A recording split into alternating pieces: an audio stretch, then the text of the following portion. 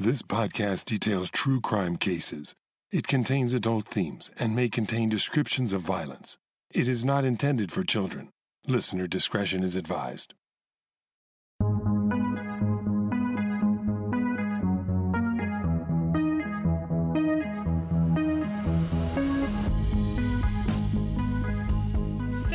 Thank you for joining us for this uh, special end of the year episode.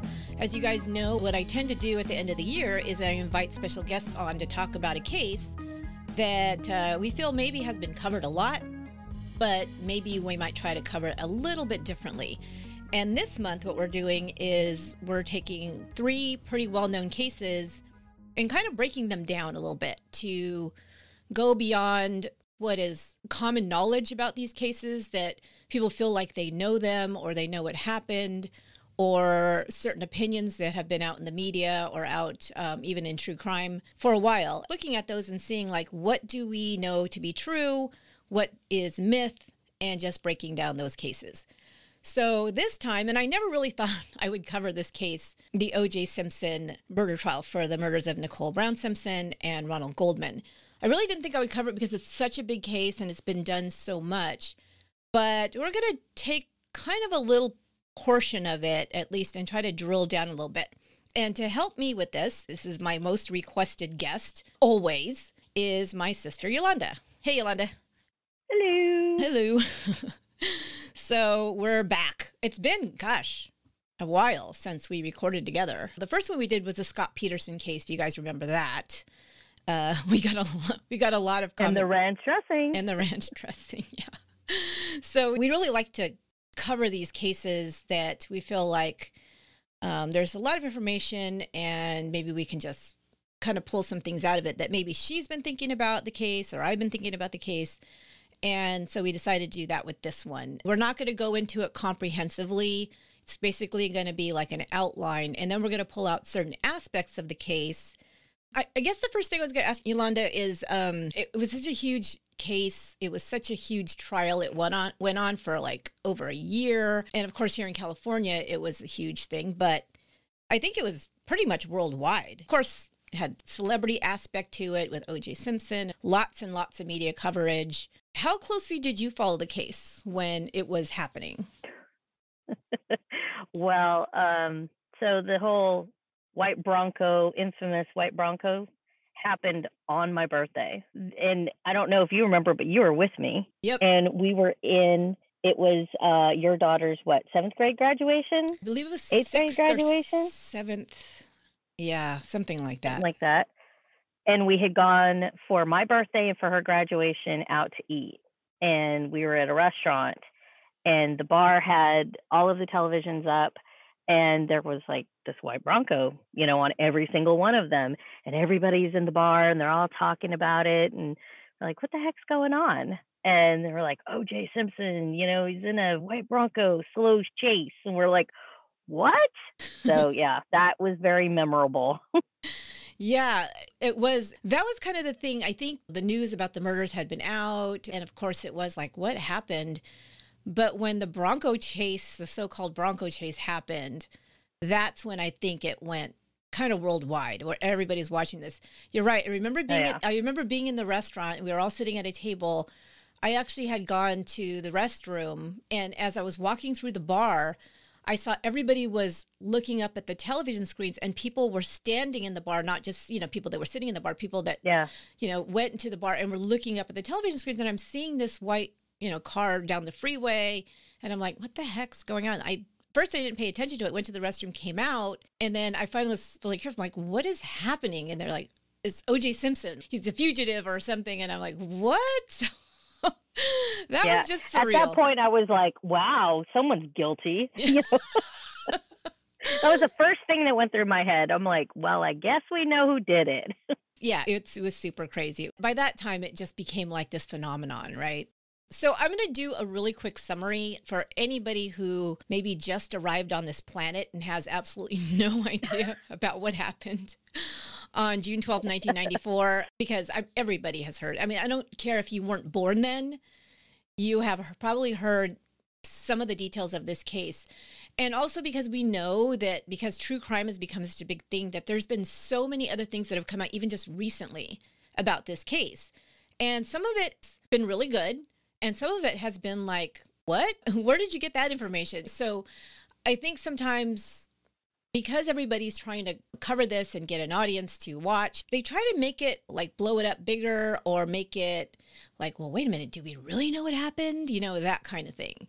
And it's like, uh, yeah, if we live there, we watched it for a year, we, we know what happened. At least we exactly. know, we, we think we know what happened. And the other thing, too, is I, I just wanted to say really quickly is that beyond watching the news coverage, I watched the trial every single day. Like when I wasn't watching it, when I was at work, I was listening to it. The entire trial was played over the radio on TV all day long, all day. Mm-hmm. but not even just summaries. They had cameras and microphones, everything in the courtroom. So you were watching it live.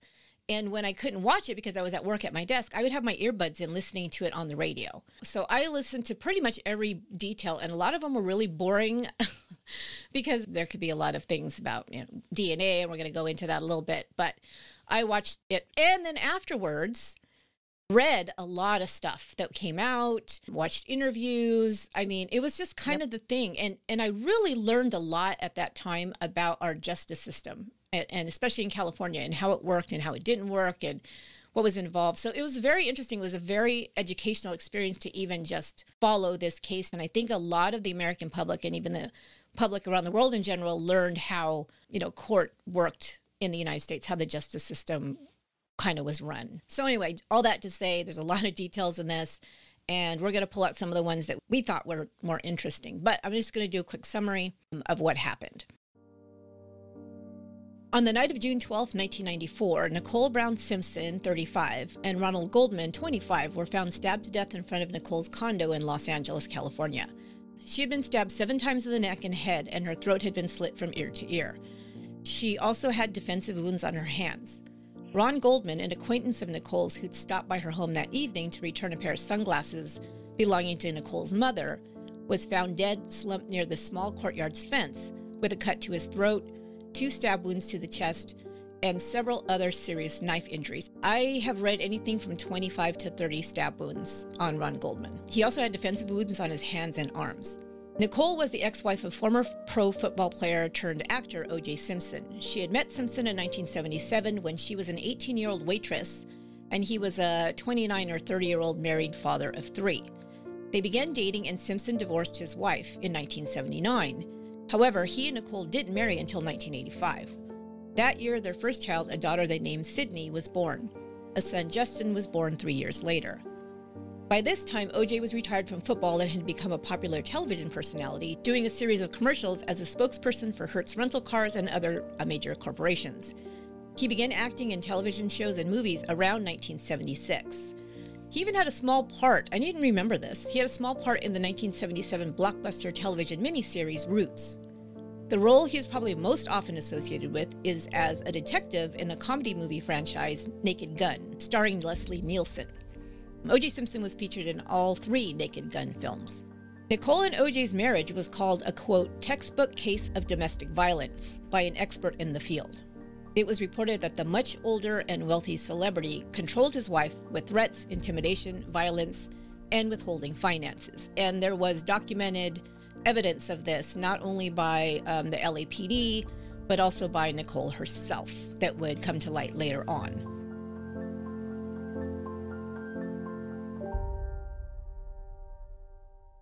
So, what we're going to do is first get to how did this come to be? How did this happen? And like I said, the uh, textbook case of domestic violence was something that was continuing throughout their marriage, uh, the relationship actually.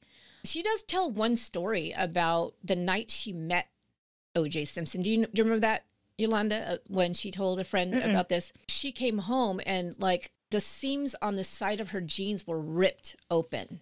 They were like, okay, what happened? And she said, oh, he basically ripped her clothes off of her. That's your first date with this guy. You know, and that to me is very odd that that would be okay with her, but you have to remember the age difference and who he was and who she yeah. was.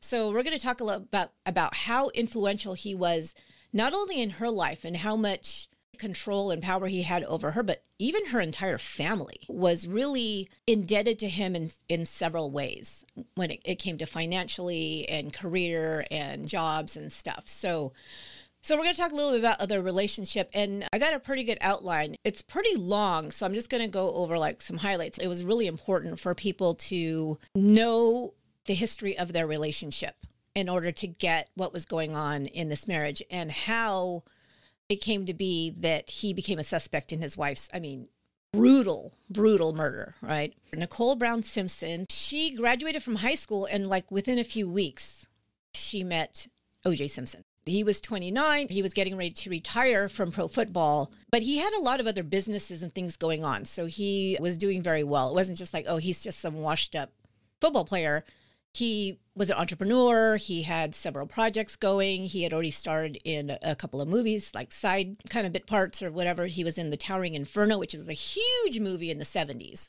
like the mid or late yeah. 70s. So he was moving out of being a athlete into a celebrity, basically. He became a celebrity. Like I said, when he met Nicole, he was already married. He was married to his first wife, Marguerite, for 10 years. They had three three kids. As a matter of fact, I think, if I'm not mistaken, Marguerite was pregnant with their third child when OJ started seeing Nicole.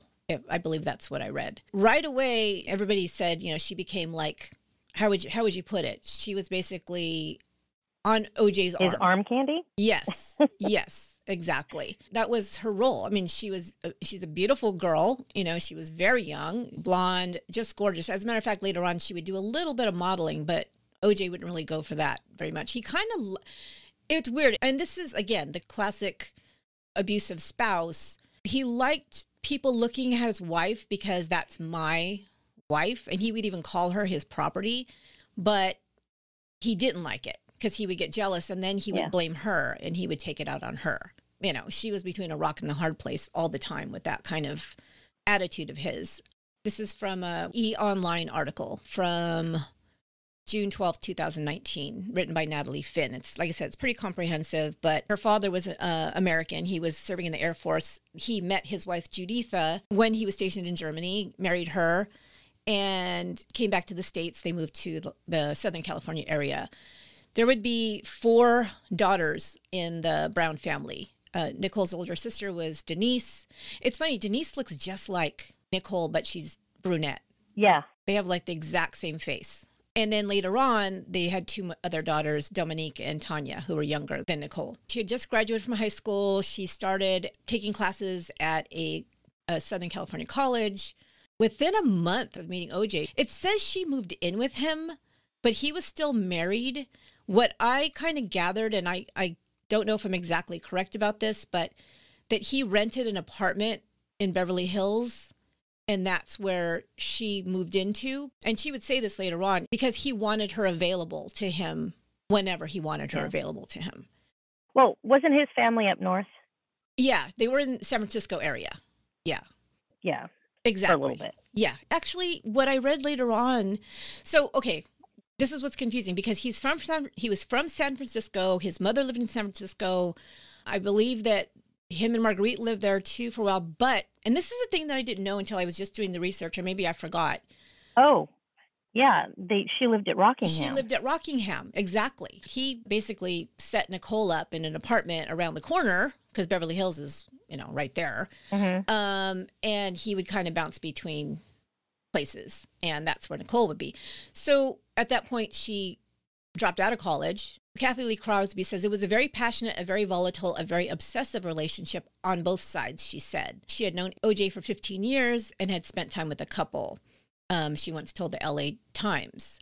But there's lots of incidents of people saying, seeing OJ yelling at Nicole, belittling her, putting her down, treating her like property. Her sister Denise actually testified uh, to this in the trial said when Denise first met him on a trip to Buffalo to watch him play for the Buffalo Bills, that's the football team he played with, and this was like in the late 1970s, Denise said Nicole had greeted a friend of OJ's with a kiss on each cheek, and he, quote, got real upset and started screaming at Nicole. Simpson and his wife divorced in 1979. I found this also strange too because he was already basically living with Nicole, but they didn't get married for another six or seven years, I think it was. hmm I was surprised about that. Pretty much the same month or that same time frame when him and his wife divorced, their youngest daughter, who was just under two years old, drowned in the swimming pool at Rockingham. Another reason, like, wow, they still stayed at Rockingham. You know, that was odd. Yeah. Because that's, I mean, that's pretty tragic. So now, yeah, he has two kids, two surviving children from Marguerite. And then he would have two children with Nicole later on. There's a lot of quotes from Kris Jenner, who was a, a good friend of Nicole and OJ's because she was married to Robert Kardashian, who, of course, plays a big part in this whole case later on. But yeah, they were good friends. So she was a witness to a lot of things as well. But she said in her experience, Nicole hid a lot from most people about what was going on in the marriage. If you think about it, though, so Kris was married to Robert Kardashian, Mhm. right? Right. And he was friends with OJ. So, do you tell your girlfriend who's married to your husband's best friend everything that's going on? Because what are they going to do? He's going to turn around and tell OJ everything that she's been saying because his wife's going to tell him. So, of course, she's going to hide, you know, she's going to hide that. I thought about that when I read that part. I was like, well, of course, she's not going to say anything. Yeah, and, and I did also read where it said that pretty much almost their entire relationship, except for her family, all of her friends were OJ's friends, which again is a classic controlling behavior of one partner to another. Yeah. Where, you know, you don't have any outside friends from from mine because I don't know those people or what you're doing. And you're right, they would be more loyal to OJ. And they were. You know, for the most part, they Yeah. were. So Nicole and OJ married on February 2nd, 1985, in the backyard of the Rockingham estate. Okay, so he's he's married. He raises his kids with his first wife, cheating on Nicole, and you know they're they're living at Rockingham, and then they get divorced. She moves somewhere else. I'm sure he, she had another property somewhere that he purchased or whatever, and then moves his mistress in to the same house. And the thing that I got with that was that that was OJ's house. Like it wasn't Marguerite's house or Nicole's house No. or the family home. It was OJ's house. You know, that, that's what I got from that. So they married on February 2nd. Their daughter Sydney was born that October. So she was probably pregnant or just barely pregnant when they got married. And their son, like I said, wasn't born till for another three years. Basically, everywhere OJ was, Nicole was. You know, they had parties together. They had people over. It was again mostly OJ's friends, people in the media, people you know like other actors, football players, celebrities. You know, it was that whole lifestyle. I think. This is the thing that was interesting to me. She was very close to her family, her mother, father, and her sisters. But he also found a way to get everybody kind of beholden to him in some ways, right? And on the outside, you can look and say, oh, this is a very nice thing for him to do because, you know, he has money and he has connections and whatever.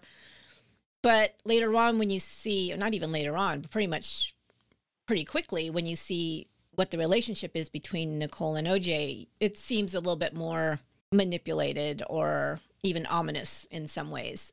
So, Nicole's father, Lou Brown, ran the Hertz rental car outpost that Simpson owned at the Ritz Carlton Hotel in Laguna Niguel, which is in um, Southern California. Very nice hotel. You know, that Hertz rental car place was making some bucks, right? Yeah. And OJ even paid for uh, one of Nicole's sisters, Dominique's USC tuition. So, University of Southern California, which is a very pricey college, it's a private college. Yeah. He had also hired a first cousin of Nicole's named Rolf Bauer as the gardener of his estate, and then appointed him manager of two Pioneer chicken locations that he owned. So, he owned this franchise of these chicken fast food restaurants. And this guy who was first, he hired as a gardener, then he made him the manager of these two things. Uh, Rolf's wife, Maria, worked as OJ's housekeeper at Rockingham. So the whole family is like on the payroll here, right? Or is getting to be on the payroll here. From this article, it just says, but at the same time, all of her friends were his friends. That's the, what I saw earlier. And he kept Yeah. everyone close, ensuring that Nicole hardly opened up to anyone about what was really going on behind closed doors.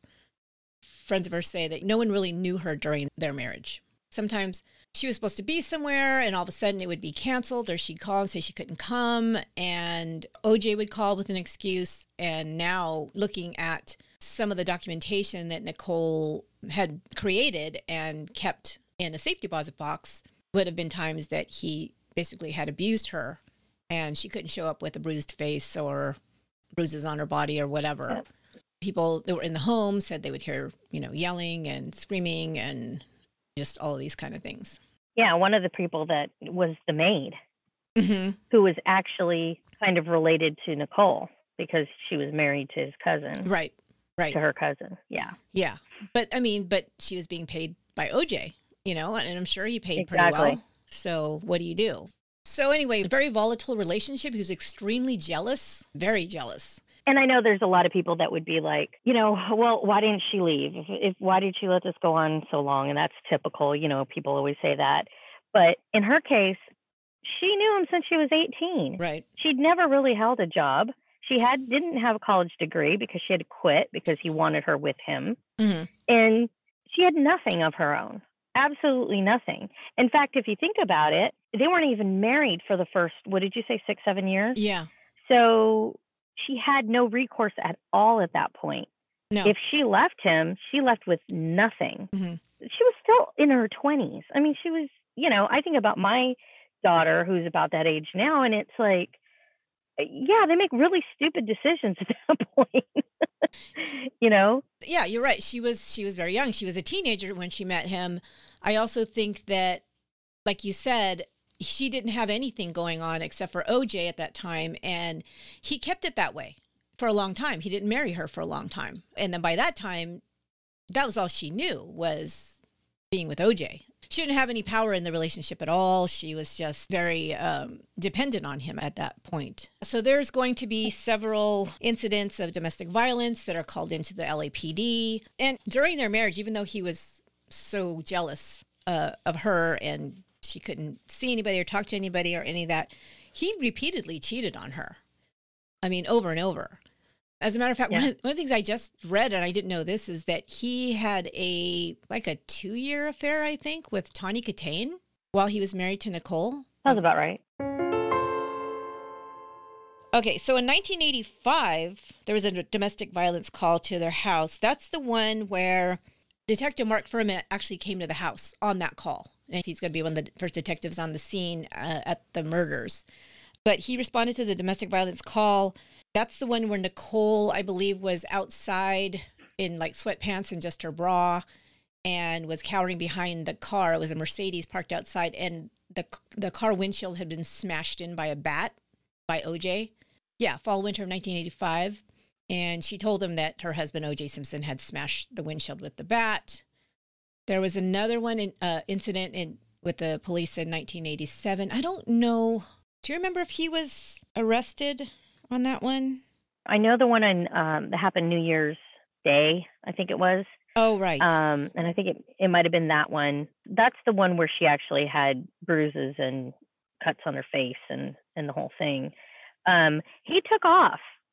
He took off Oh, in his that's right. car, and apparently they didn't go after him. no, they didn't. You're right. And no, but he he eventually, I think he did go and turn himself in to the police station like Mhm. the next day. And um, yeah, he got a, a slap on the hand for that whole situation. right. Yeah. And later on, when he was talking about it, he was like, "Well, yeah, it was just an argument. Nobody got hurt." He was, you know, in the media, he was even giving that, you know, as an explanation. You know, it's just people fight. We have our ups and downs. Like it was no big deal. Yeah, and you know, it seemed like as time went on, he was even more open with how he was abusing Nicole, at least around certain people, around like her family. There was a story in the mid 1980s where that's where OJ threw Nicole and her sister Denise physically out of the house. This is what she says about that. She had made a comment to OJ that he was taking Nicole for granted, and he flew into a rage after she said that to him. She says this then quote he ran upstairs got clothes started flying down the stairs and grabbed nicole told her to get out of his house wanted us all out of his house picked her up threw her against a wall and then picked her up and threw her out of the house physically. She ended up falling she ended up on her elbows and her butt. We were all sitting there screaming and crying, and he grabbed me and threw me out of the house. When these things would happen, she would either go to one of her sisters or her parents, but she would end up, you know, coming back. There was one time where she showed up in a Ferrari and said that was OJ's apology, giving her a Ferrari. So in 1988 is when she started confiding to Kris Jenner what was going on. She said on a trip to New York, Nicole confided in her about various marital troubles that OJ was cheating on her and would get physically rough during fights. She said I, she wanted to leave him. She said, I don't know if I can stay. He's really hard to live with. She said, I want to leave him and I don't know how. And at this point, uh, Kris Jenner says that Nicole had really changed. She seemed more withdrawn. She just wasn't herself any anymore. Like she used to be very bubbly and, and happy and friendly. And you know, no matter what was going on, she was, you know, very active. And she became really withdrawn, seemed anxious, didn't talk to many people, and seemed to be edge on the all the time. 1989 was that one you were talking about. I think it, this was a 4 a.m. She called 911. That's when she was outside in the bra. And she told the cops when they arrived, he's going to kill me. According to a police report from that morning, her left eye was black. She had a cut lip and a bruised forehead, and there was a handprint on her neck. And she told one of the officers, You guys never do anything. You never do anything. You come out. You've been here eight times, and you never do anything to him. So, another reason why it's like, you know, if I leave him and he comes after me, what's going to happen because they don't ever take him to jail you know nothing happens so why would she feel safe calling the the police officers right that's the one that you were talking about that time they told oj who denied hitting his wife saying he had just pushed her out of bed and that they had a drunken fight after a new year's eve party he had to go with them to the police station instead he drove off into the night in his bentley Nicole then went to the cops the next day, said she really didn't want to press charges, but since she had signed the police report, they were obligated to kick it up to the DA's office, which filed domestic violence charges against Simpson. He ended up pleading no contest to misdemeanor spousal battery. He was given 120 hours of community service, two years of probation, and twice a week counseling in order to pay $500 in restitution to a battered women's shelter. So two years of probation, but I think things happened in those two years, and I don't think anything happened to him. You know? No. Yeah, that's that's Mm-mm. that's what he. This is the the quote that you were talking about. He, we had a fight. He told the television host about the incident. We were both guilty. He said. No one was hurt. It was no big deal, and we got on with our lives. It wasn't that big of a deal. But a close up photo of her bruised face was found after her death in a safety deposit box, along with um, photos of her injuries from the New Year's Eve incident. She had somebody take pictures of her that time, which is pretty telling that she knew, you know, this is getting really bad and I need to document it. And that she and she put it in a safe deposit box of all places. Mm-hmm.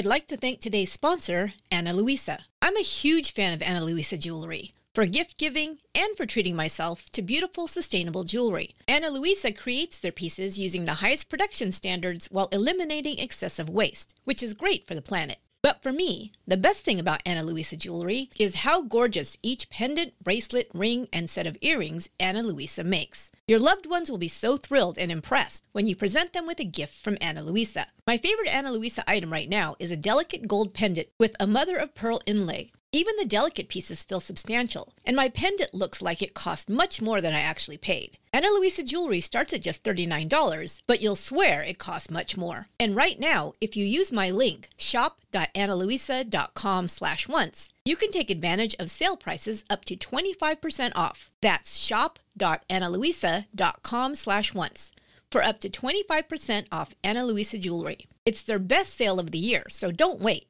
Get your holiday gifts or treat yourself at shop.analuisa.com slash once. And thanks for supporting the show.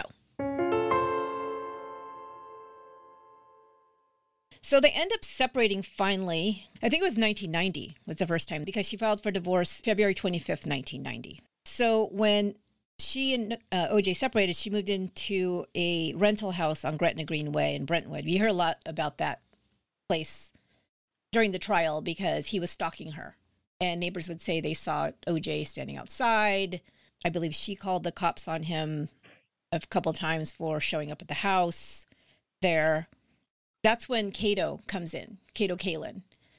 Her and her friend Faye Resnick, who also plays a part in this case a little bit, um, had met him. He was like a ski bum. he was this young guy, like 21 or 20 years old.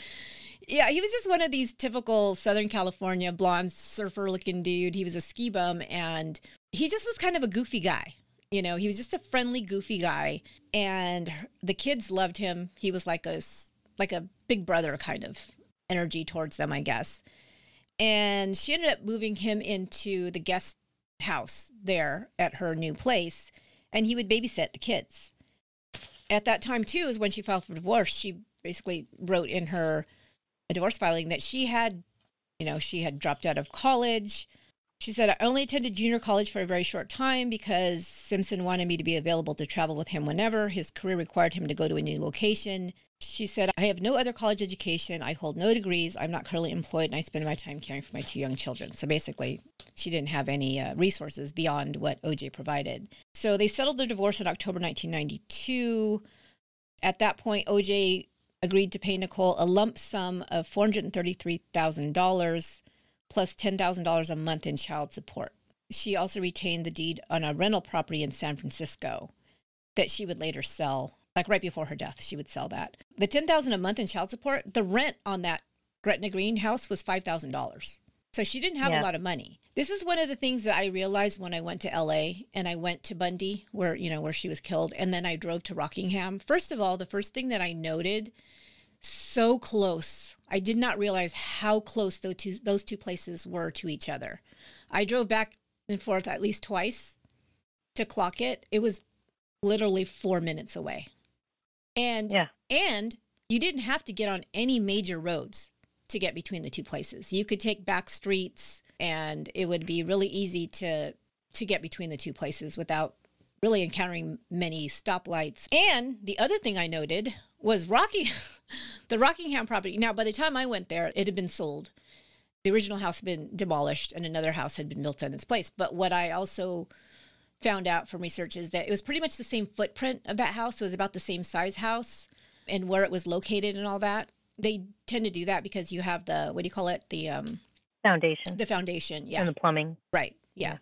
So, um, because even the the guest house that was on the edge, like by the fence, was still there. I don't know if I think it was the same one because the way that it's described in the trial, and we'll talk about that, you know, in a minute. But um, it seemed to be in the same location, and I could see somebody coming over that fence trying to go up that walkway along the side of that guest house and it was narrow you could see it from the fence um, so i think that was the same guest house. Maybe it was remodeled, but I think it was in the same place. Um, I could be wrong, but it sure did look like it was the same layout.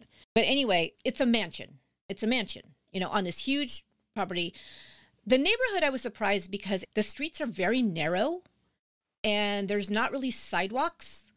The little kind of alleyway, basically, on the side of the house was where the Bronco was parked when the police came out to his house. And in between, like across the street, it's just like a very narrow street but it's you know very nice area big huge lot big huge house and then you drive to nicole's and it's literally a condo that's connected to another condo and it's small yeah. and the neighborhood is not a i mean la is expensive no matter where you go but it's not a great i would say it's a place like maybe teachers and cops might live. You know what I mean? It's not like a place yeah. where celebrities live and people with money and, you know, it, it's not at all. And it's just a regular neighborhood. What an ass. Because she, she was living there with her two kids. He the kids were not living at Rockingham. I mean, they would visit OJ now and, and then and, and go over, but they didn't live there in it for any intents and purposes. They lived full time with their mom in this tiny condo while he lives in this big, gigantic mansion. And he gives her $10,000 in child support, which half the money goes to her rent. Now, she got a lump sum, yeah, so you better invest that wisely. She didn't have anything. She didn't have an education. She didn't have job experience. So, you know, she's going to have to figure out a way to make that work with two kids to raise on $5,000 a month from this guy that's getting royalties yeah. from major motion pictures and all these businesses. So I guess the last thing that that said to me was that she just wanted the hell out of that marriage. You know, at some point, I don't care. Just give me enough to live on, and I, I got to get the hell out of here. So that's what it appeared well, I, to me. Yeah. Well, and I think I read it in there that apparently the amount of money that she was given in their settlement and the amount of money she was getting for child support was, uh, or not the child support, but the, the settlement amount. She had signed a prenup. From what I remember from the past from reading about, is that she basically had to badger him into marrying her. Hmm. That was not something that he wanted to do. And it was probably a lot to do with the money because you said how long they were together before they ever got married. So I think that prenup was, you know, that was a major point of them getting getting married. He also she had to fight him on having kids. I remember that too. That was a huge hmm. like issue. Um, she wanted kids, and he was, you know, basically he wasn't interested in it. But that's why that particular amount, she was able to get that, and she got the deed to a rental property in San Francisco. Those were the two things that she was able to get out mm-hmm. of the mm-hmm. marriage. After all that time, yeah. and how much money did he make? Yeah. Yeah, no, you know? he, he really, yeah. One of the books I read where he really fought everything as far as the money and didn't want to give her really anything. But here's the thing too, and this is something that you know people are definitely going to bring up. And again, we have to know the psychology of somebody who has been, you know, never had become her own person. She she went from being a, a kid in high school to OJ's girlfriend and then OJ's wife and the mother of OJ's kids without having really any anything of her own. They got divorced, but she decided after it was like 8 or 9 months that she wanted him back. And then when she you know, he was stalking her, all that was going on, and then making it really hard for her to get the divorce. And then, you know, she's drifting because I guess doesn't know what to do without OJ. And she wants him back. And she tells her friends, I want my husband back. And he ghosts her. He like won't take her calls, doesn't call her back, just ignores her. And again, another manipulation. He would say that he was fine without her. This went on for a little while. And then he said, Yeah, you know, I want to get back together. And this was in, like I said, they got divorced in October 1992. A year later, on October 25th, 1993, Nicole is calling a 911 dispatcher again. That's the one that they play in the trial, where she sounds very tired and weary and says, Could you get someone over here now to 325 Gretna Green? He's back, please and then asked what he looks like, she says, He's OJ Simpson. I think you know his record. Could you send somebody over here? He's fucking going nuts. And she starts kind of, you know, her voice is breaking at that point. I remember that. And told to stay on the line, she repeats, I don't want to stay on the line. He's going to beat the shit out of me. And that was, it's a 13 minute 911 call. It's, it's heartbreaking to hear. I mean, she, she just sounds yeah. so defeated. And the crazy thing is during that, Kato's there.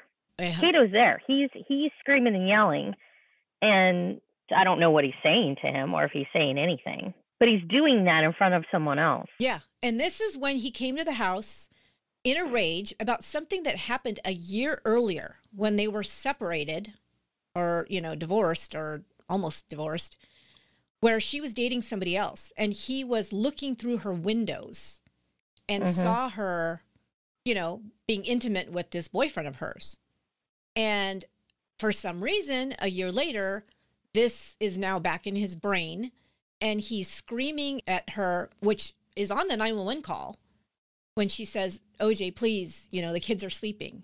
And he says, "Oh, you didn't give a shit when the kids, you know, when this you were doing this guy in the living room, you know, all this kind of stuff. Um, you didn't care about the kids there." And he's screaming. It's pretty obvious if you follow the case. Once all of this happens, and they find Nicole and and uh, Ron. They also find out that the kids are asleep in the house. Mm-hmm. And this just goes to show you that he never, ever cared in advance of it because people were like, "There's no way he could have done it. His kids were in the house. He never would have let them find that. There's no way." Well, he never cared about what was going on with the kids. He didn't care if they heard. He didn't care if they saw. You know, I, I don't know if they ever did. She said that they slept like like the dead, like they did not wake up. They were rocks. Mm-hmm. But that doesn't mean that they weren't awake. Right. And, you know, just At not times. just not reacting. I mean, yeah. if this had been going on their whole lives, they probably learned how to shut down when that's going on around them. If they knew anything, oh yeah, you'd have to find a way to protect yourself or just your own psyche from hearing this screaming and you know seeing your mother or you, not even maybe seeing but maybe hearing your mother being beaten or whatever's going on. It's something that can you know destroy somebody psychologically if they don't find and kids find a way to, to basically just shut that out or do what they need to do to you know for their own survival um, at least psychologically even if they're not being hurt because by all accounts he never did harm the children physically it, that wasn't yeah. part of yeah. it. So they end up spending that Thanksgiving and Christmas together since 1993, but then it pretty much was over by the beginning of the next year. And um, she sold the San Francisco property and bought the condo at Bundy. She moved there in January of 1994. And this, of course, the murders happened in that summer in June. So it's only six months she's at Bundy. That spring, they're trying to do some things as uh, a family uh, Nicole and OJ and their kids went to Mexico for Easter with Kris and Bruce Jenner and their kids, Kourtney, Kim, Khloe, and, and also their father, Rob Kardashian. Apparently, and this is all OJ's words mm-hmm. here, is that during that time, when they got back together after they had gotten divorced, they had made an agreement that they were going to try it for a year. And it was like from Mother's Day to Mother's Day of one year to the next, mm-hmm. that they were going to try and um, be a couple again. They were going to try different things. They were going to date and actually basically learn to fall in love again. And if, if after a year that didn't work out, then they both knew they were both going to be mature about it and, and then be done with this situation. That's according to what he had to say. I don't know what's true, but that's right. so that's where they were in that time period. So it's funny that you say Mother's Day because that's that would that's in uh, May, right? So in May 1994, mm-hmm she decided that she was done. So maybe it's that's true. Maybe she was like, okay, we gave it that, a good shot. Yeah, according to him, it was all amicable, and they, you know, had this one last night together, and you know, he left in the morning before the kids could see that he had spent the night, and you know, that that's his whole take yeah. on it. Yeah, like he's this very reasonable guy. But on her 35th birthday was on May 19th, and he gave her this very expensive bracelet. But a week later, she gave it back to him. Now, you know that's not going to sit well with him because he used to always try to buy her affection back. She said she was done.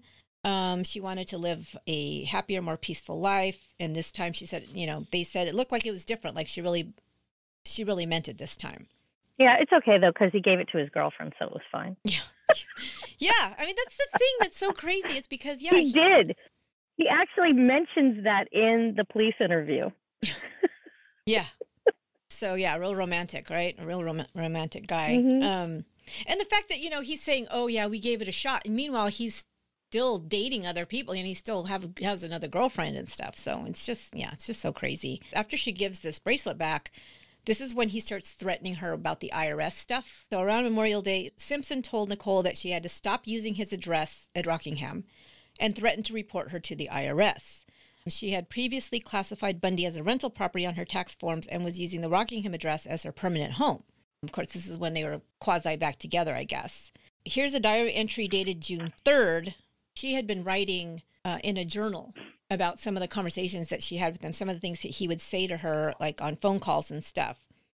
So, in one uh, June 3rd diary entry, she wrote, quoting OJ, you hung up on me last night. You're going to pay for this bitch. You're holding money from the IRS. You're going to go to jail, you effing C. You think you can do anything you want? You've got it coming. I've already talked to my lawyers about this, bitch. They'll get you for tax evasion, bitch. I'll see to it. You're not going to have a dime left, bitch. So these are all of the things that he was saying. Like uh, she's writing the notes down of what he's saying to her. Um, and then on June 6th, three days later, he sent her a formal letter instructing her to stop using the Rockingham address and she had showed this to a friend on June 7th. And on that same day, on June 7th, Nicole called a Santa Monica women's shelter for victims of domestic abuse and said she was being stalked by her ex husband. So it's well documented okay. what was going on here. Oh, oh, totally. But for context, I just need to point this out because I, I ran into this when I was doing you know, the research too, just to get well versed again for this conversation. So I have the book If I Did It, which is a pseudo confession by OJ. Um, supposedly, like if he had been the killer, this is what would have happened. And he tells his whole side of the story in this book. Apparently, which, which of course you know what he thinks it is. Which of course you would do, right? If your if your wife Oh, was yeah, brutally murdered and murdered and you were wrongfully accused, you would write a book saying how you would have murdered her if you actually were the murderer. What that is just the craziest thing I ever heard of in my life. I mean, I, I know It- exactly. shocking. And then let's let's have this whole scenario of what you how you think it went down. In in comparison to what you just read, what she wrote in her journal Mhm. about the whole tax thing on selling a property and all of this. I want to read this portion of this. The one thing that she wasn't able to control was this constant harping about our living arrangement. She kept pushing me to let her and the kids move back into Rockingham, and I kept telling her no. I suggested that she rent another place, or better yet, buy one, and she finally took my advice and found a nice condo on Bundy near Dorothy Street. And remember, you just explained to us what this condo was like. Mhm. It was it was decent, but it wasn't like Rockingham. right. There was one major problem, though. She couldn't afford to buy it unless she sold her condo in San Francisco. And because the timing was wrong, she was worried about the tax bite. When she looked into it, she discovered that she could avoid the, that problem by claiming that the place on Bundy was a rental property and to indicate in her tax return that she and the kids were actually living with me. I didn't want any part of that scheme, and I told her so. The last thing I need is a problem with the IRS, I said. And then, of course, supposedly she said, But I don't understand. I'm going to be moving back in with you anyway. I can't do it, I said. So that was his whole conversation in the book Yeah. about like what a great guy he was. He was just like, you know what, can't do it because, you know, I'm not going to get involved in the IRS. Meanwhile, he's like, I'm going to get you on tax evasion, you bitch. Yeah. You know, and it was like, so these are the two OJs. These Right. are, this is the one that he wants to portray to people. The public And- the public and the other. and the private person, the real person. Correct. But one other thing that I thought about in here. So when she lived on Gretna Green and she was renting the property, there was an basically an in-law suite in the back of that property that Kato was renting. Apparently, he was supposed to be paying her five hundred dollars a month in rent. Whether he really was or not, I don't know. But um, that's what he was supposed to be doing. When she moved into the condo, the issue with it was that Kato would have to live in like a maid's quarters. That's what he called it. I'm assuming it was just some bedroom, you know, somewhere in the condo. And because of that, OJ took it upon himself to give Ca- Kato a place to live rent free on his property Right. because he was jealous and didn't want him in in there. Well, if you think about it, even if she had used the the Rockingham address and they were, you know, at that point reconciling or trying to reconcile, right? Um, and she was using that property. Truly, she kind of was renting the place, or she was planning on renting part of the condo to Kato. Right. But OJ took that away from her by giving him a place to live for free. Oh yeah, right. I didn't think about So, yeah. So if you think about it tax wise, did he set her up that. Mhm. to be able to control her in that way I think so. and so. be like, yeah, you know, I mean, it, it's just a typical, even if it wasn't, but it sure all fell into place. Really, you know, it, it always works out for OJ. uh huh. You know, Mhm. he's always going to find a way to to make it work out for him, and to make things harder for her. Yeah. So that was one thing that I loved when I was reading that. That one thing that you know kind of stuck out to me that whole time and the timing of it. So, three days before the murders happened on June 9th, Nicole's friend and real estate agent, Jean McKenna, put the Bundy condo up for lease at $4,800 a Mhm. month. And then they went looking for a place for Nicole to live, and they actually found a place that she could afford in Malibu. So that was the plan. She's planning to move to Malibu. This was on June 9th. And how far is Malibu from Rockingham? It is. I did drive there because I was. It's probably about twenty minutes if there's no, if there's no traffic, but there's always traffic. So it's, exactly. it's it's far. I remember because I was. but it's not four minutes around the corner. It's not around right? the corner. He can't keep an eye on her. He can't be. You know. I mean, the way he was before. You can't just show up. Malibu is much more secluded right. as far as not being able to just show up on a busy street and look in through somebody's window. Right. Yeah. Yeah, no, it, it, it, yeah, it's it is a distance. So she was moving away from him, moving out of his control. Yeah, so by then he was already dating Paula Barbieri, who was a Oh. model. Yeah, according to him, you know, as soon as him and Nicole broke up, him and Barbieri were back together. Which, uh, you know, given his history, that probably it all overlapped. I wouldn't doubt. But Mhm. But one thing about her moving uh, to Malibu as well. One of the other things, apparently the kids liked where they lived on Bundy, Hmm. but she didn't have a pool, so she wanted to have a pool at the new place, which the new place was going to have a pool. And if you go in through this book um, that he wrote, one of the things that he was always saying that she would just show up at the house with the kids, order around his staff, so you know while the kids were swimming in the pool. So if you think about it, that's another thing that he held over her head. Mm. But if she were moving on and getting her own place somewhere else that had a pool, she wasn't going to need to, you know, go over there quite as much anymore, would she? Right. Yeah, it's all these. It's So all again, the control. yeah, all these little things that were like slipping out of his grasp. The way that he could, you know, control her. and also uh, well and the one thing you know she said she put that that house up for lease well the other reason yeah the reason that she put it up was for lease was it was a chess move from him sending her that letter saying hey you're going to get it for tax evasion. She's like you know what? F you. I'm just going to go ahead and rent it out because i said i was going to. Then i'm going to rent it and i'm going to get myself another place. Right.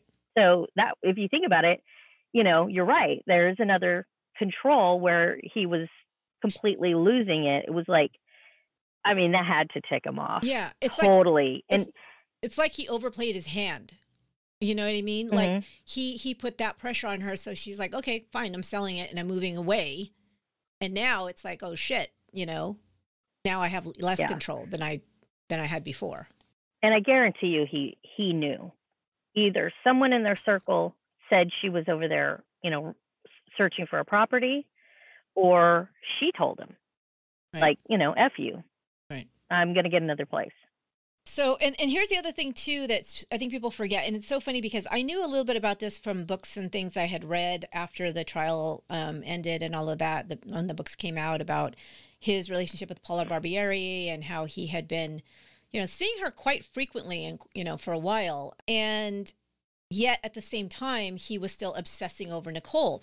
Some of you guys probably know there's a the podcast You're Wrong About, and they did like this I don't know 12 part over like two years um, about the OJ Simpson case. And the big portion of it at the beginning was Paula Barbieri's book. She wrote a book, which I didn't read, um, but I got a lot of it from the that podcast. And they go into you know her relationship with OJ. And one of the things that she says repeatedly is she really loved OJ. She she thought he was a great guy. She you know she was totally committed to him and all of that. But she said he was obsessing over his ex-wife and I knew it. She said it was like there was three people in our relationship always because he would be angry about, you know, something she did and then I'd have to hear it or I wouldn't hear from him because he was too busy getting into something with with Nicole or you know, whatever. It was just on and on. So she was kind of like, "Hey, I'm all in, but you're going to have to choose. You're going to have to choose what you're going to do Mhm. here." And as this was going on, like this last week before Nicole's death, she pretty much realized, you know, because it was even more because all this was happening. And she's like, you know, whatever. So on June 11th, her and OJ actually went out of some black tie event. Meanwhile, he's talking about this stuff because what we're going to know is the next day his daughter has this dance recital and the whole family is invited to go. I feel like he's starting to get the impression that he's being pushed out of the family not just by Nicole, but by everybody. It's like, we're all done with this. This is too much. So she needs to move on. You need to move on. You're doing your thing. She, you know, let her do her thing. And it's just be, you know, amicable, but keep our distance is what they're doing. So he's going on about this to Paula about like, he's angry about it. He's not really a part of it. Like he's kind of invited, but he was kind of not invited, you know. So Yeah. at that point, it was right around that time, she goes to Las Vegas and she gets introduced to Michael Bolton. And she ends up like really liking him and he ends up really liking her. She's like, "Hey, you know, this guy was it was a breath of fresh air to have somebody just paying attention to me, you know." So the next day when OJ's already ticked off about the fact that they go to the dance recital and they don't invite him to sit with them. He's sitting separately from the family at the dance recital. And then they're all going to go to the restaurant to have dinner and he's not invited. So and and this is where the timeline gets in that that you start to see like, oh, this is maybe what happened. He, you know, this is maybe what led up to him having this explosive anger. If you know we believe that this is what happened, which you know all the evidence points to the fact that this is what happened. So this is June 12th now. At six o'clock, Nicole Brown, Simpson, and OJ leave separately from their daughter's dance recital, where Simpson sat apart from his ex wife and her family. And this is an AP outline of the timeline in in 1995, early 1995. At 6:30, Nicole dines with family and friends at Mezzaluna restaurant. Waiter Ron Goldman was on duty, and that's where her mother Juditha leaves behind her eyeglasses.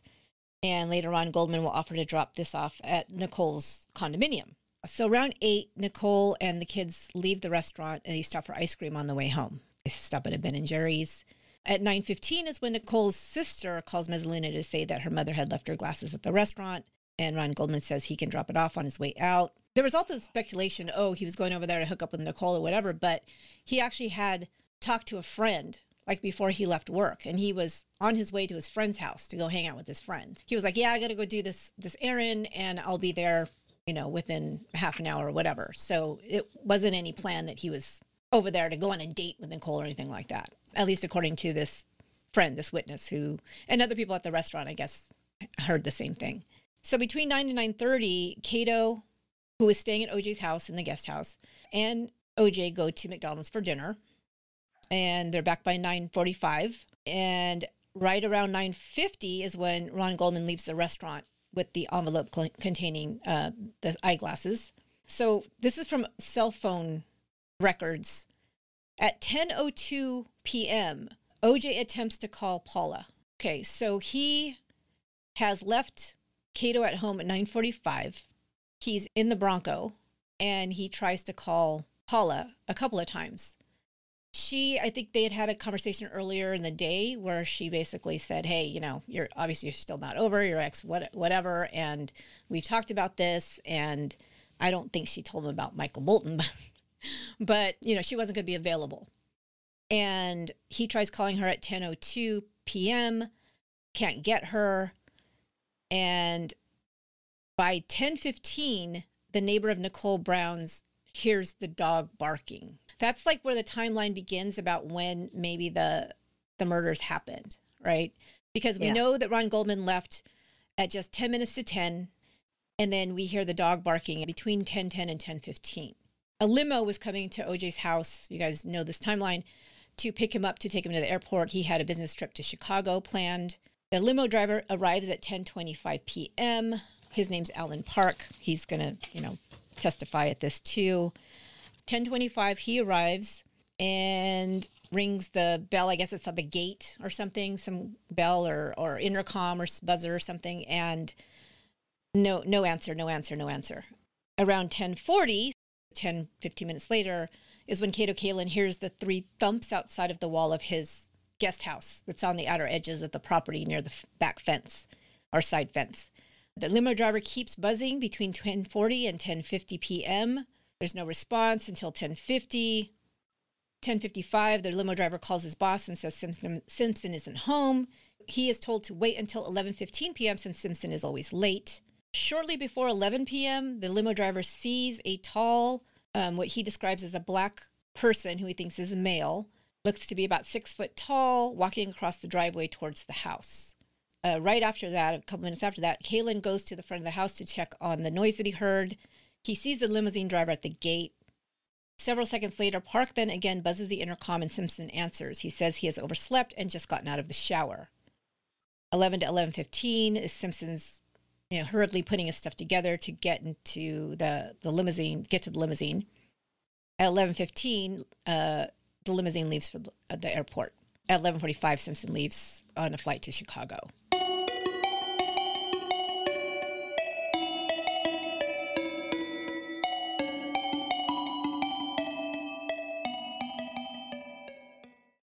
So that's that's the chronology, and that's going to be a big thing. You know, the defense is going to try to say he didn't have enough time and all of these things. The, the limo driver's been waiting from ten twenty five to eleven for Simpson mm-hmm. to come out of the house, and Cato heard the thumps right around ten forty. So that gives him twenty minutes in the house. So then last night, I went down a, a little rabbit hole because I'm like, okay, I need to know about this timeline because it's a big deal made out of it. Because here's the thing here's what the defense is going to claim. And, you know, um, we can talk about what happens, the whole thing with the Bronco chase and stuff and the timeline of that. But let's just quickly go through. He goes to Chicago at around midnight, 12, 10 a.m. on June 13th, which is, you know, that early that next morning. The dog, which is Nicole's dog, named Kato as well, which is not confusing at all. no. um, is seen wandering by the neighbors. This is when the dog actually leads neighbors to the condo, and the and the victims are found right after midnight in front of Nicole's condo. Talk about when they f- go to his house later, but. Um, so at 6:30 a.m., OJ is called in Chicago and advised of the, by, about the murders by telephone, and he flies back to Los Angeles. Um, we'll talk about why they decided to do this, but t- at 10:45 a.m., the police obtain a search warrant for Simpson's property. At noon, Simpson arrives home. He goes into the police station, is questioned for about three hours, and then let go. June 16th is the funeral of Nicole. OJ's there with his kids and Nicole's family. On June 17th is when he's charged with two counts of murder with special circumstances, and prosecutors say they may seek the death penalty. Simpson is supposed to turn himself in to police, and he says he will, or his, his attorney says he will, but he does not. He's then declared a fugitive, and this is the day of the infamous white Bronco chase. So I didn't know this was 60 miles he drove on the on the freeways in Los Angeles that day. No wonder it was all over, over on the TV forever. 60 miles. I know. Oh my god. That's like an hour at least you know, not counting any kind of traffic. Yeah, Al Cowlings is driving. It, it becomes this whole ordeal with people on the side of the roads because they know that OJ's coming and they've got signs out there that say "Run, OJ, run." Which is uh, tied back to his Hertz ad spots where he's running through airports trying to, you know, get his Hertz rental car. It's this, it's this whole thing. He finally goes back to his home where he's arrested shortly before 9 p.m. and jailed without bail. Six day preliminary hearing start on June 30th, ends on July 8th. The judge rules that there's ample evidence to put him on trial. On July 22nd, he pleads he pleads in the court on television with probably millions of people watching that he is quote absolutely 100% not guilty. So that happens, and then the, they go through a grand trial and all of this. Just you know, everything goes on and on, and then we have the uh, the trial that follows that the next year the trial's going to get into the evidence where basically he's just going to have this team of lawyers who's going to say the crime scene was contaminated, the evidence was planted, you know, all of these things to, you know, to make their case that OJ is not guilty. But June 17th, the Bronco chase. This is from a website, famoustrials.com. So the police had accumulated enough evidence indicating Simpson's guilt in the murders that they sought and obtained a warrant for his arrest under an agreement worked out with Simpson's attorney, Robert Shapiro. He was to turn himself into police headquarters by 10 a.m. the morning of June 17th, the day following Nicole's funeral. When he didn't show up by the agreed upon time, police told Shapiro that they would be driving to his Brentwood home to pick him up. Sometime after one o'clock, four officers knocked on Simpson's front door. Soon they and Shapiro discovered that Simpson had disappeared it turned out on perhaps the most famous ride in American history since Paul Revere warned Bostonians of the arrival of the British. I didn't write this on Famous Trials. Simpson left behind the letter. Okay, this is the thing. The the the so-called suicide letter is like the longest mm-hmm. friggin' suicide letter you ever saw ever in history. It's what like 3 pages? I was Oh my god, I was reading it and it it literally sounded like one of those things that you would write in someone's yearbook. It's like, "Hey, John, thanks for all the good memories," and Judy, and you know, it's like. I'm like, what the hell is this? It's like, remember all the good times we had, and yeah, like he's reminiscing, and you know, like yeah, like, like or he's making a speech at a uh, high school reunion. It, it's crazy. It's the craziest mm-hmm. thing. It sounds nothing at all like a suicide letter. It starts with "To whom it may concern," And it ends like this Don't feel sorry for me. I've had a great life, great friends. Please think of the real OJ and not this lost person. Like you were talking about the two OJs. Doesn't that kind of make Yeah. you think that? Yeah. hmm Thanks for making my life special. I hope I helped yours. Peace and love, OJ. And then he puts a smiley face next to the OJ signature. In the O. In the O. Yeah. Yeah. like in the O. Like, what the hell? Like he's signing a yearbook. Yeah. Yeah. Oh my God. So this is all day long. Like, where the hell's OJ? And his lawyer keeps telling the cop, no, we'll find him. We'll get him here. Don't worry. It's just going on and on all day. Around 6:20 p.m., a motorist in Orange County saw Simpson riding in the white Bronco of his friend AC Cowlings and notified police. Soon, a dozen police cars, news helicopters, and some curious members of the public were following in pursuit of the Bronco. The slow motion chase, because it wasn't a high speed chase, guys, it was very slow. People could look into the windows and see what OJ was doing. It was so slow. The slow motion chase would finally end with Simpson's arrest in his own driveway. After making the arrest, police discovered uh, almost $9,000 in cash on Simpson, a false beard and a mustache, a loaded gun, and a passport in Cowling's vehicle. Well, apparently, when he originally got him in the car and he was supposed to turn himself in um, that day, he told Al he wanted to go before they came, before he had to go turn himself in, he wanted to go to the cemetery. Right. That was one of his first stops, was the cemetery. And Yeah. then he got all, He wanted he goofy, wanted to go to, yeah, he wanted to go to the cemetery where Nicole was buried and then he also said he wanted to go to see his talk to his mother, see his mother. I mean, he was like he was on tour that day apparently, doing all these things before he turned himself into the cops, but he was supposed to do that that morning. one thing too is that I know during that time, because that whole letter and all of that, um, he was on some drugs. They had um, prescribed like some sedatives and stuff. Mm-hmm. Um, I don't know what else he was on, but and he wasn't staying at his own house. I don't believe. I think Mm. he was over at I can't remember whose house he was at. I don't think he was at his own I place. thought he was at though. I think he Kardashian's house because somewhere else. Kardashian came out with the bag. Remember, that's the thing they're going to say later. What what happened to that Yeah. bag? It was like a garment bag. It was like a Louis Vuitton garment garment bag that Yeah. never was seen Yeah, again. yeah. And people were saying, "What did that have? Like the bloody clothes and the night, you know, in it." Which is crazy, and because I mean, I have I actually will post it. I have a picture of of uh, Kardashian coming out, walking across his driveway with this bag. You know, so Yeah, yeah, yeah. I remember that too. Mhm. And you think you're like, well, there's no way in hell he brought it back from Chicago with him, right? I mean, he had time to get rid of it. He could have dumped that anywhere, you know. And of course, there's all the reports that someone saw him near a garbage receptacle on his way out of at LAX. I Yeah. think, right? Oh yeah, there was there was there was witness statements about that too. You're right. That was before he ever got on the plane. So you that, know, you know, a- any clothes or a, a knife or whatever could have been dumped at the airport. I mean, come on, think about how many millions of Yeah. people are going to go to that airport by the time they think to go look there. Exactly. This is about the the chase. What happens is Al Cowlings ends up calling the the police to tell them to back off because OJ's in the car, he's distraught, he just wants to go see, you know, wherever. Al Cowlings is telling them back off, back off because, you know, he's going to hurt himself basically. And this was like a super famous thing. It was played over and over. And it's the end Yeah. part that's really, I guess, the part that made it like a little legendary 911 call, right? Cowlings calls 911, making sure they know OJ is armed and desperate. 911, what are you reporting? This is this is AC. I have OJ in the car. Okay, where are you? Please, I'm coming up the five freeway. Okay. Right now, we all we are okay, but you gotta tell the police to just back off. He's still alive, that he got a gun to his head. Is everything else okay? Everything right now is okay, officer. Everything is okay. All out. He wants to, me to get him to his mom. He wants me to get him to his house. Okay.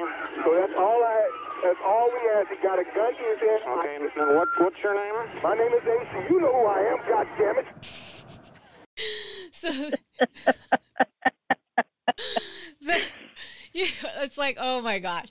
It's so dramatic, right? It's so dramatic. Like he's gonna shoot himself in the head and I'm trying to drive him to his house. You guys back off because he's gonna kill himself. He's gonna kill himself, you know? And it's like, and then he gets there and he's pretty calm because there's helicopters. I mean, there's like swarms of helicopters over LA at that time, right? Yeah. And they're over Rockingham. So when he finally gets to Rockingham, it's it's pretty funny because you go from that drama to this. It was very anticlimactic at the end. it's like everybody's waiting for this, Yeah. like, oh my God, it's gonna be a shootout, and it's gonna be they're gonna tackle, they're gonna have to tackle him, they're gonna have to, you know. Uh, there's going to be a standoff because he's going to kill, you know, all this stuff. None of that happened. And again, it was OJ calling the shots. It's typical. Exactly The correct. cops are doing it, you know, they're just doing what he asked. Exactly correct. Let's put this in perspective because it's not like we were in another dimension. Mhm. This was around the same time as the Rodney King incident, right? Happened right before all of this, right? hmm But look at the difference. You know what I mean? Right. Like you're saying, you know, it's not like they tackled him, got him on the ground, and then no, none of that. It was just like, okay. And Yeah. this guy had a gun in the car. Yeah. And it was a suspected murder of two people. And yet it's like, yeah, just, uh, yeah, it's, but it's OJ. So, and that's the thing. So then when we get to the trial, what's going to happen is they are going to try to make, okay, let me just go over the evidence really quickly because there's so much friggin' evidence of this murder and OJ's involvement. Like, this is the thing that I guess maybe if you didn't live during that time and you didn't have all this information, like all at this, you know, coming out every day, every day, every day, more and more evidence, evidence, evidence, evidence. And you break that down, you might think, well, you know, maybe he was framed, maybe what you just said. Because it comes out of that whole idea about the LAPD, right? The Rodney King thing had just happened, and so the pol- the, mm-hmm. the, the Los Angeles police were already, you know, suspect in the eyes of the public because of that. Like, oh, they just, you know, do stuff and they get away with it, and especially against black men and and all of that, and how that explosive that well, was. let's let's put this into perspective a little bit more. The LA Police Department during that time, and now I'm not talking about that particular area, but LA in general, Mhm. It was terrible. The, Yeah. the entire police force, there was so much corruption, there was so much, you know, all of these stories were coming out during that time. If you didn't live during that time, you don't know the difference in what it was like versus, I don't, I don't know what it's like today, Right.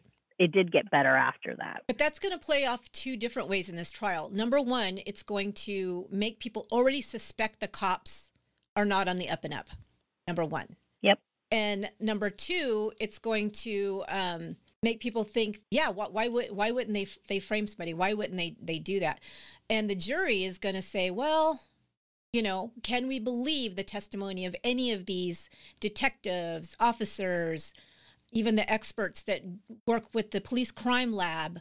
So all that's going to play into the trial. But the thing is, is we have to see number one, there was so much friggin' evidence. There was so much evidence. Okay, so let me. This is what I wrote last night because I remembered this, and I had read the books by the different detectives, and these books they used their reports that they wrote. And this stuff is all documented because they have to. That's part of being a homicide detective. Part of people that come to a crime scene, everything has to be logged you know, when people get there, they have to, you know, log the time they got there and all of this stuff. There's all these procedures, these all these protocols, and I was reading all about that last night. This the very beginning, and this I believe was Detective Vanatters. Um, he was one of the main detectives with all of the reports that were filed that night when they discovered the bodies. Okay, so the bodies were found in front of the Bundy residence, like I said earlier, by a neighbor around uh, midnight, around 12 a.m. The first two officers, again, all documented. First two officers arrived at the scene at 12:20 a.m. They called in paramedics and backup police units right away. The first officer that was on the scene, again, the only thing they're supposed to do if they come to a crime scene like that is see if anybody is hurt and needs assistance. And he said he shone the flashlight, and this is a little bit graphic, but he said, I knew there was no helping the woman because she was nearly decapitated. There was so much Mhm. blood that there was no way. And then that's when he saw Ron Goldman's body. He was kind of slumped in a halfway seated position. And when he shone the flashlight in his face, his eyes were open. He kind of reached out. He actually touched his eyeball, and there was no response. Yeah. Yeah, because to see if there was any response, like was there is there any sign of life in this guy? He had a white shirt on. They said you couldn't tell what color it was. That's how much blood there was. Oh. And he said, so at that point, I backed off. We called in the paramedics again because they have to make the determination. You know, we can't just say, yeah, they're dead. Um, but we knew that they were. And backup police units and called in a double homicide. So then two other officers and their sergeant arrived and cordoned off the crime scene at that point. So it was, you know, all cordoned off. Paramedics arrived and pronounced victims dead at 1245. They don't move the bodies. The bodies stay unmoved from where they were because they knew when they got there, there was nothing they could do for them. The Los Angeles Homicide Detective Supervisor Ron Phillips arrived at Bundy at 2:10 a.m. So now we've got two two hours. And this is when Detective Mark Fuhrman arrived as well. But when they got there, they were the 16th and 17th officers logged into the call sheet on the case. That means there were already 16 officers who had come to the scene. Nobody had got within six feet of the bodies because it's all procedure, the way they have to do it. It was all mm-hmm. logged. Fuhrman's partner, Brad Roberts, arrived about 2:30 a.m., so about 20 minutes after him. They were the first investigators on the scene. They also did not approach the bodies. They made a visual inventory of the crime scene again from the records. Um, homicide detective Philip Vanatter, who see they had to decide who had jurisdiction because LA's got all of these different um, bureaus, which is like the departments, different play areas. Yeah. They first they had to figure out who was going to be in charge which homicide department gets this case and who's going to take it over and what's going because it's rob- robbery homicide. And so they have to figure out like is it robbery homicide is you you know whatever. Nobody had gone into the house at all at that point. Well let me take that back. Nobody had walked through the walkway. The front door was was open. They could look inside. They could see that nobody was downstairs. Meanwhile they had talked to i think it maybe was one of the neighbors who said that's nicole simpson that's oj simpson's wife and so they tried to get a hold of him, but there was no answer. They then had uh, officers come through the back door because they said, you know, they, she has two little kids. So they came to the back door. An officer went upstairs and got the kids, woke up the kids, and took them down the back stairs and out, and to get them, you know, to the police station to get them out of the house. Nobody had approached the bodies, the crime scene yet, and Phil Vanatter arrives at four in the morning. So it's four hours later. After he surveys the scene, the first officer who was on the scene, you know, saw the bodies first, tells Vanatter about a bloody glove was found right next to Ron Goldman's body. So he saw a glove there when he was flashing the light. Hadn't touched it, um, but he saw it was there. It was a glove and it had blood on it. So he told him about that. He also said that he saw bloody footprints were clearly visible on the walkway that was moving away from the bodies and towards a back gate he you know again with the flashlight not getting you know close or touching anything the blood was also visible on the large there was some blood drops or a blood drop i think there was some a few also visible on the gate so he's like okay it looks like somebody attacked these people went down this walkway because there's bloody footprints went out the back that, that's basically all he told him. It was all visual. No one after the initial officers, the patrol officers on the scene, approached the bodies or evidence, and they're not allowed to because uh, the coroner's investigator has to come to the crime scene first and then say, yeah, they're dead. But no evidence could be touched or collected, approached until the crime lab technicians also arrived. There was a photographer from the crime lab who arrived at three around 3:30 in the morning but he was only able to take shots from a distance. Couldn't get close, so there was like more panoramic shots of the front of the of the condo and where the bodies were positioned. Detective Tom Lange, he'll be the one, the second in charge, or the two together. I guess Vanatter and Tom Lange are the are the main detectives that were going to investigate this these murders. He arrives around 4:30 a.m. Uh, Vanatter told the commander of the LAPD West Bureau to notify Simpson about his wife's death before the media found out because they knew he was a you know media figure. And they're like oh shoot this is if this goes out on the radio this yeah. is something they bring up at the trial that the first officer when he called in this he did not call it over his radio. He went through the back door to Nicole Simpson's house and used her phone that was in the kitchen to call in because he didn't want the media to hear about it. Um, mm. Because the neighbors had already said that's Nicholson, that's OJ Simpson. And he could see pictures of OJ Simpson when he looked inside the house, like with Nicole and all of that. So, like, oh, well, you know, he contaminated because he used the phone. Well, he wasn't anywhere near that. And nothing was found in the house. There was no blood or anything found in the house. Everything was outside. The person came in for the outside, went out through the, the back. They didn't find any blood evidence or anything like that in the house. The other reason they were trying to get a hold of, of OJ was because they wanted him to come pick up his kids from the police station. You know, here's these two kids that were woken up from their beds and they're in a police station. I mean, Of course, you want somebody, family there with them. And they said, okay, well, let's call OJ. So they were trying to get a hold of him. And of course, now they're going to say all of this was uh, evidence was planted. Uh, the blood evidence was, you know, I mean, this goes on and on in the trial. We, you know, we kind of know this if, from the way that the trial was um, uh, conducted by the defense. But let's just talk about the evidence just to get that out of the way. Oh, jeez. Good Lord. The blood evidence, hair evidence. Oh, my God. Where did I write Where this? wasn't it? Where wasn't it? It was everywhere. Everywhere. And that's when And they, everywhere in OJ's vehicle, Yeah. in his house. Yeah. yeah, exactly.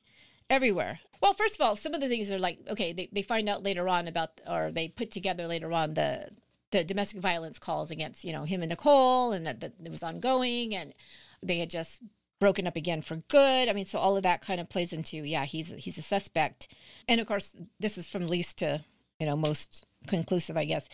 Hair is consistent with that of Simpson's found on a cap at the Bundy residence on the on the walkway. A hair is consistent with that of, of Simpson found on Ron Goldman's shirt. Why would that be there? Uh, fiber evidence cotton fibers consistent with the carpet in the Bronco found on a glove at Rockingham. Fibers consistent with the carpet from the Bronco found on the cap at the Bundy residence. Here's the blood evidence. The killer dropped blood near shoe prints at Bundy. So, and they knew this was on the left side. There was like blood drips on the left side. Guess what? When OJ does get there to be interviewed, he's got a cut on his left hand, on his left Mhm. finger. The blood dropped at Bundy was of the same type as Simpson's, and it says about 0.5% of population would match this.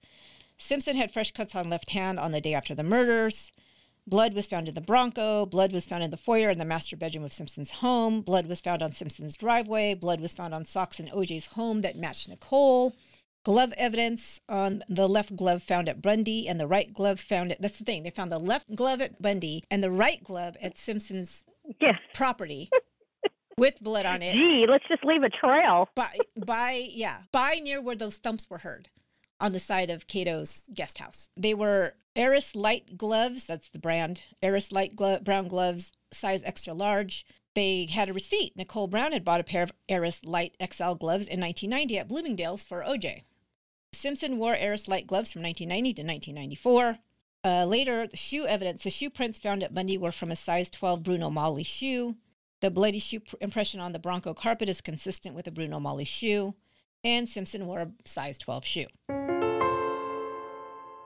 About exactly why they went to OJ's residence when they did and what happened. And this is where now it's going to get twisted by the defense to make it seem like it was all a plot to get OJ. So the detectives are talking at the crime scene over the strategy, what they're going to do, you know, as far as investigating this crime crime scene.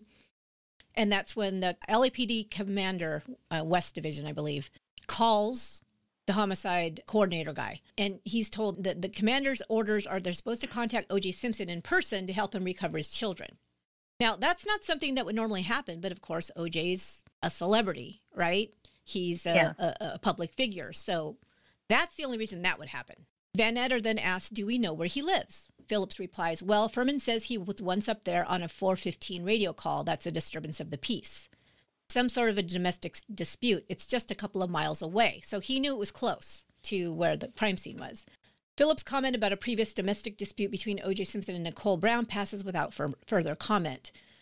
Lange says to Phillips and Fuhrman, the four of us are going to go over to Simpson's place. We can meet the guy, make the notification, get his cooperation for background information down the road. The two of you will stay with Simpson and help him make the arrangements for picking up his kids at your division. Then Phil Vanatter and I will come back here and handle the bodies and the evidence. So Lieutenant Rogers, uh, which is Lange and Vanatter's supervisor, approves of the plan, takes charge of securing the South Bundy crime scene until Lange and Vanatter return. Considering that Simpson lives just two miles away, I told you it was really close. Lange and Vanatter assume that they will be back in 20 minutes or less. Um, at this moment, neither Lange nor Vanatter view O.J. Simpson, who to most people is a beloved American sports icon, as an actual suspect in the murders. However, as the ex husband of the dead woman, they must consider him a potential suspect, and this is consistent with routine police procedure. Okay, so this is, they get to his house like around 5 a.m., so it's been like five hours, right? So they get to Rockingham, North Rockingham Avenue towards Ashford Street. Parked near the gate facing north and on the east side of the street is a white 1994 Ford Bronco. The street is narrow, like I said, and void of other parked cars. Lange notices the Bronco's parked at an angle with its rear sticking out into the street. They see another car, a 300 ZX, which is, I think that's Kato's car, which is up ahead on the south side of the street. It's only five minutes. They arrive at OJ Simpson's home. Like I said, it was super close. They see a light on inside the house as they look through the barred gates. They also observe two cars parked in the in the circular driveway, a Bentley and a Saab. Intercom tries, you know, presses the button. There's no answer. He tries again for several minutes. No answer. Um, because of the cars in the driveway and the light in the house, they assume that Simpson is home and the intercom is broken. So while they're waiting for someone, Vanatter notices a sign for Westec, a private security company near the gate. He suggests that Phillips call and get the telephone number to contact Westec and request someone to come to Simpson's residence. You know, maybe they can get in to the gate or whatever. As they're waiting for Westec to arrive, another Westec car cruises up North Rockingham. This is the security area on routine patrol. So while they're talking to the security officer, the, Fuhrman walks over to the white Bronco and he also noticed that the car appeared to have been parked hastily with its right front tire over the apron of the curb and the rear tires angling toward the street. He shines a flashlight onto the back window of the Bronco's cargo bay. He then calls out immediately to Vanatter. Van Etter then goes over to Fuhrman, who shines his flashlight again into the back of the Bronco. Inside, they see a long handled shovel and a plastic sheet. Also, they can read the words on one or two packages, Orenthal Productions. They know Orenthal is OJ's, you know, real first name. Mm-hmm. So, like, okay, this is OJ's car. Then Vanatter shines the flashlight into the car and notices its doors are locked. But the guard then tells them that as far as he knows, Simpson is inside the house. A live in maid should be in there as well, he says. He adds that if Simpson were away, he would have notified his home security service. Then Fuhrman reports that the Bronco is registered to the Hertz Corporation. And of course, now they know, you know, it's connected to OJ. The Nissan is registered to Brian Gerard, Gerard Kaelin, who is, has an address that's not in this neighborhood. We know that's Kato, who's staying at, uh, in the guest house. So Fuhrman returns to the white Bronco and he uses his flashlight, uh, conducts a brief investigation, and tells Lange, hey, I think I've found blood. So he shines a flashlight on a red speck smaller than a dime above the outside door, door handle on the driver's side. He also notices a piece of wood, which is about a foot long, on the grass outside the Bronco on the parkway. It looks freshly splintered and doesn't seem to fit anywhere in the area. It appears to have been broken off from a fence. So then Lange says, you know, calls out to them and says, asks, is this blood? He says, yeah, sure does look like blood. And he says there might be a small amount of blood on Simpson's car door. Now they don't know what to think. They call Simpson's home now because they have the number. And it's 5:30 a.m. All four detectives hear the phone ringing inside his house and they hear the answering machine switch on. Nobody answers. So Vanatter then turns to the others and says, Let's add this up. We have lights on in the house and cars parked in the driveway. Simpson and his live in maid are supposed to be home, but no one's answering either the intercom or the phone. And now we have blood near the door handle on the driver's side of Simpson's Bronco, which is parked kind of funny in the street, just a couple of miles from the scene of a double homicide. And one of the victims is Simpson's ex wife. Do we have two connected crime scenes? Uh, Lange says something's wrong. There's lights on, cars everywhere. No one's answering. What if Simpson and his maid are in trouble in there? They agree that a potential emergency might exist and that they must enter the estate. If such circumstances real or perceived, police officers are permitted to enter a person's property without a search warrant, says. Now, they don't know whether Simpson is an actual or a potential suspect, but it's a moot point. The concern is for the safety of Simpson, and his maid overrides everything else. But there's a five foot high vine covered wall. So Fuhrman, being the younger guy, says, "Well, okay, I can go over if you want me to." They said, "Yeah, go ahead." So about 5:45, he jumps the wall, the other side onto the gate, and then opens the gate, allowing the other three detectives to enter. Vanatter has his flashlight on, scanning the area and looking for anything out of the ordinary. This is when Kato comes out. A disheveled man answers. He appears to be in the 30s with long blonde surfer boy hair and green bloodshot eyes. He's wearing a t-shirt and pajama bottoms and saying, "What's going on?" And he tells them who he is. You know, they ask him who he is and all this. So they inspect him because they're like, does he have blood on him? Is you know something going on here? They don't see anything. So then Arnelle, his daughter, is there. Um, so she's woken up because Kato says she lives next door, and I don't know if he means the main house or if there's another house. Um, oh, it's an, no, it's another. There's it's more another than one house. bungalow. Okay, Yeah. Okay, so she's not in the main house. So yeah, she wouldn't have heard the bell or anything like that. Um, so now they want to know where the maid lives. They go into the main main house, and they don't see her in there. Everything seems to be fine, no struggle or anything like that. Kato tells them about hearing the thumps outside, so that's when they go walk outside. So this is when they start seeing blood in the house and, and everything, and all of this gets collected really quickly because you know we get to the DNA evidence and stuff with all of this blood. These are things that should not, should not be. So at the Bundy crime scene, there's a blood drop by Nicole, blood not excluded from certain people. That's the way they put it, the DNA evidence. Blood drop by Nicole Simpson does not not exclude O.J. Simpson, which means you know it could be O.J. Simpson's uh, and not Nicole's and not anybody else's. So basically, it's just saying it's not hers, it's not Ron's, it's O.J.'s. Uh, there's a blood drop. There's like one, two, three, four, four, five blood drops by Nicole's walkway that are OJ's blood three on the back gate that are OJ's blood. The Rockingham glove, there's one, two, three, four, five, six, seven, eight, nine, ten in the glove that are Nicole's and Ron's, Nicole's and Ron's, Nicole's and Ron's, Ron's, Nicole's and Ron's, OJ's and Ron's. OJ didn't know Ron. Why their blood be together? OJ's, Nicole's, and Ron. I mean, it's just all of the three of them all mixed together on this on this glove. Um, Rockingham socks found in his bedroom. There was blood on the ankle of the socks found in OJ's bedroom. Nicole's, Nicole's, Nicole's. And some of it was OJ's. A steering wheel in the Bronco, OJ's and Nicole's blood. Driver's side carpet, Nicole's blood. And a bunch of OJ's blood in the in the Bronco. I mean, all over the place. There was a there was a footprint mm-hmm. in the Bronco in mm-hmm. blood. Right, just like there was a footprint on the walkway of the same size. Okay, so they're yeah. saying so. Okay, so what the defense is going to say is that you know, spoiler alert, because everybody knows this. You know, he he actually is found not guilty after this year long trial um, that cost him millions of dollars for this team of defense lawyer Johnnie Cochran, um, Robert Shapiro, and this is the thing is they're going to say that it was contaminated and the blood was planted.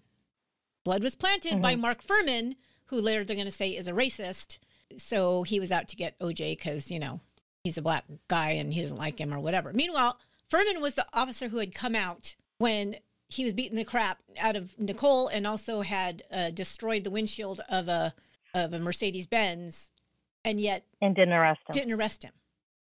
So he hates him so much that would a clear cut way to arrest him and, and lock him up or whatever, or at least ruin his reputation. Nothing else, and didn't do it didn't take yeah. that opportunity to do it at all. The timelines, there was definitely enough time. Like I told you, it's literally four minutes away, you know, and yeah. he had 25 minutes in between, you know, they hear the dog barking and no, 45 minutes. And OJ, you know, finally opens the door or comes out at Rockingham. They would have had to have 17, 18, 19, 20 officers all there at the time when supposedly Fuhrman is getting this blood and, and putting it everywhere and nobody. Well, and also, where did he get the blood? Exactly. At that early. He would. So they took they took his blood the next day. Mm-hmm. So they would have had to have gone back to the crime scene. Right. And planted blood that they had already reported that they found. Right. That's in in the record from the moment that the officer first arrived, saying that he yeah. saw the blood there. So he's going to tell. And on the Bronco. So the first officer who arrived, who didn't know anything about who these people were, already had to have been calling Fuhrman and saying, "Hey, you need to get over here and, and plant some blood so that I can put it in my record." I have to time warp back two hours to put that in my notes, in that in the record. So you better hurry up. You know, uh, get in the get in the DeLorean and uh, set the set the with flux capacitor to get there. I mean, it's ridiculous. It makes absolutely no sense. All of this stuff that they found at Rockingham at Bundy, and you know, Rockingham, there was this joke that I heard back when all this was coming out, you know, during the trial and stuff. Crime lab technicians coming out of Rockingham with garbage bags full of stuff that they have to test because there's so much stuff that they're finding in the house and on the property. Yeah. They're coming out with hefty bags full of stuff that they're going to have to test, right? It's not like, oh, here's a sock. I put that in a little, you know, paper lunch bag. There's like tons of stuff. And because there's so much blood everywhere, everywhere. The, the, the joke that I heard said, um, yeah, you, you see those cops coming out with these huge bags full of evidence. Hitler left less evidence of the Holocaust. Which is really bad and so inappropriate. But I was like, Oh my God. Yeah, this there was so much. There was so much. I mean, and the reason I think that it was so easy to not believe that it was him for like the jurors and whoever was because there's no way. If I were on that jury, I'd be like, there's no way someone with even half of you know brain capacity would be like okay i'm going to go violently murder two people and then oh wait i left my glove. Oh wait i dropped my other glove. Oh man i forgot my hat. Oh gee i you know, left my very easy to identify shoe prints. You know it's like they would have had to the know hell? they would have had to know his shoe size his glove Mm-hmm. size what kind of gloves he'd been wearing for the last four years. It's ridiculous. Now why you know like you said all of those reasons and also because the defense used everything they could to um, confuse the jurors. Like i said i listened to the, the, the trial every single day. It got so confusing. And you got to remember dna at the time was it was a new science No. to most of the public they didn't understand it there was hours and hours and days worth of Marcia Clark trying to explain to the jury what dna was and how you can tell that this you know they what the percentage of people too much time on that all the technicalities much. of that way too much time on it. And so there was a lot of stuff. So the forensic evidence, like I said, was the blood evidence, the gloves and the cap that were left behind with the blood evidence, the DNA that was found with the blood evidence, you know, a part of the, the hair and fiber evidence, which is, you know, I mean, you could make a case that, yeah, that's not really conclusive a lot of times. Um, the shoe prints, the timeline, and his so called alibi. There was also other things like the confession. Supposedly, there was a confession. Rosey Grier, who was an ex uh, football player, was a friend of OJ's, and he had actually become a ordained minister after he retired from football. And he had gone to the jail when OJ was arrested and was was in jail awaiting trial. And a guard or two, one or two at least, said that they heard OJ getting very angry and irate and upset. The way they put it was confessing to Rosey Grier about that he was sorry, being upset that the fact that he was in this position now because of what what had happened and that he was sorry. Now, I don't know because they weren't allowed to bring that in because it was hearsay. And of course, they couldn't compel Rosey Grier to testify because he was a minister. And if it was said Yeah. within minister, what do you call it, parishioner or whatever um, Yeah. context, then and and they did. They went to him and he said, "No, I'm not saying anything. It's between him and I, and I'm I can't be compelled to testify because he's a minister." Yeah, and the the crazy thing about that was the the guard because what he heard was kind of um it wasn't like him saying I killed her, you know. He was saying I'm sorry. He, you know, he was angry and he was saying I'm sorry. Rosey Grier said something like you need to talk to someone, you need to tell them. That's what he overheard. Well, he didn't mention it. Mhm. He didn't mention he didn't report it. So the next day when he came into work, his supervisor called him in and said, Hey, OJ's over here basically making a big stink saying that people are trying to frame him, that it's been reported that he made some sort of confession. That isn't what they overheard. Mhm. And he was like, What are you talking about? I didn't even say anything to anyone, Mhm. like what he'd heard. So he was already trying to clean up his mess of what he had said out loud Hmm. in anger before he had ever even mentioned it to anybody. Wow, not incriminating Yeah. or anything, not a guilty No, conscience no, or anything.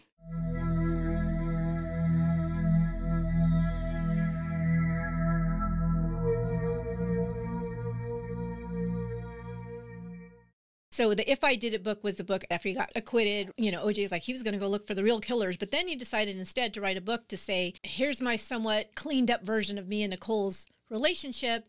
And at the end of the book, I'm going to say, "This is the way I would envision somebody killing my wife or me killing my wife if I had killed my wife," which is crazy. Somebody said about the book that says, "There's no greater way to say I'm guilty." Than to publish a book detailing how you would hypothetically do it, all in the name of profit. This is one of the excerpts from the book that I pulled out because I'm like, oh my God. I mean, I read the book a long time ago, but I had forgotten how bad it was. Again, this is written by OJ, okay? Mhm. If I had actually done it With a ghostwriter, yeah. with a ghostwriter, yeah. But he's dictating it and this guy's writing it, so, you know, makes sense. Yep. Quote If I had actually done it, I would have brought my good gloves that day. I would have thought it was a shame they shrunk when I left them out on the patio, but I would have brought them just the same. Now, remember the, gloves, if they don't fit. You must have quit thing. So now he's Mhm. telling you why they didn't fit because they were left out on the patio and they had shrunk. What?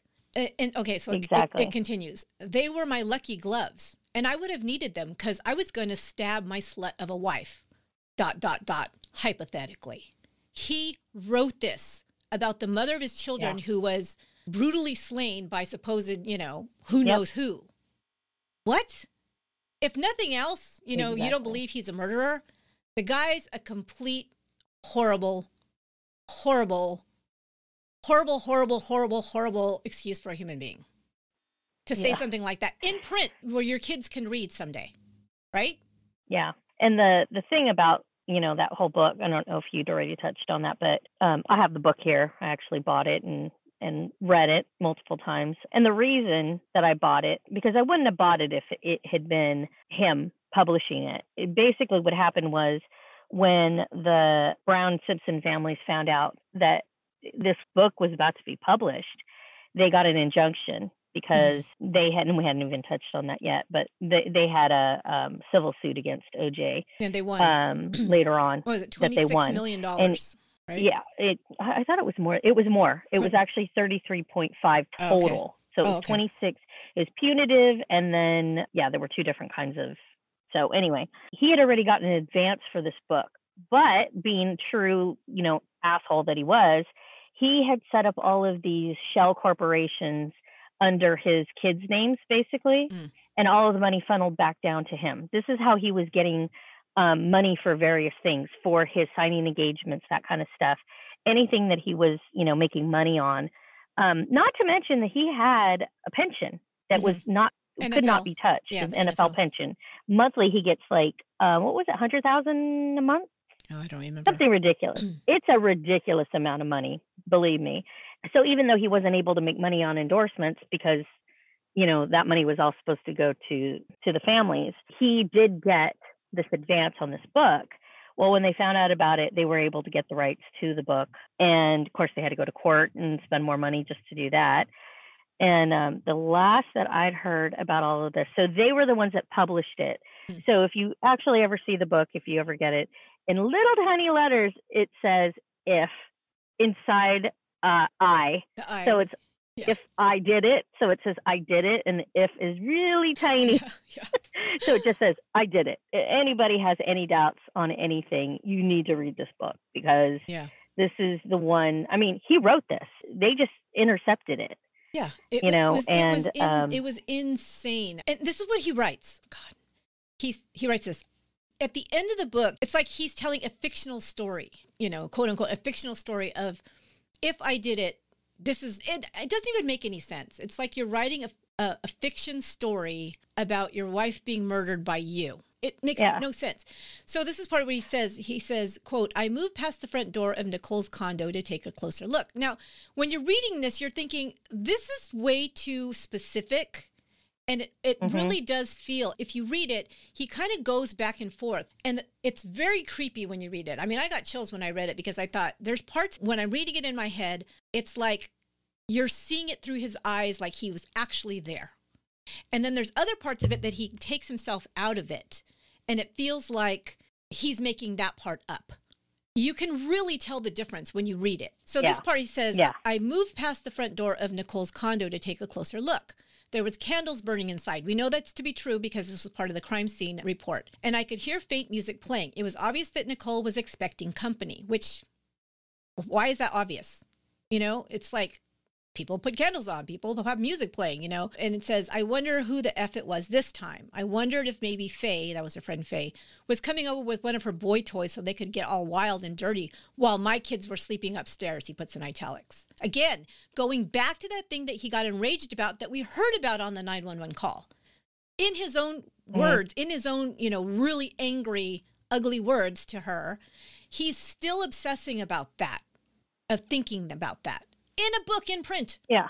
you know? So it's like, Not only not only that, but what he's obsessed about is during a time when they weren't even together, and he was stalking her, l- looking in her window. and, and 10 minutes before, he was trying to call his girlfriend Mm-hmm. because he was desperate to to see his girlfriend. This is why I believe he got so angry is because in his mind, she's ruining it for me because Paula is pissed off because I have to be so obsessed with Nicole because she can't she can't like behave herself and do what she's supposed to do, which is to sit in her house like an old lady and not have a life after me.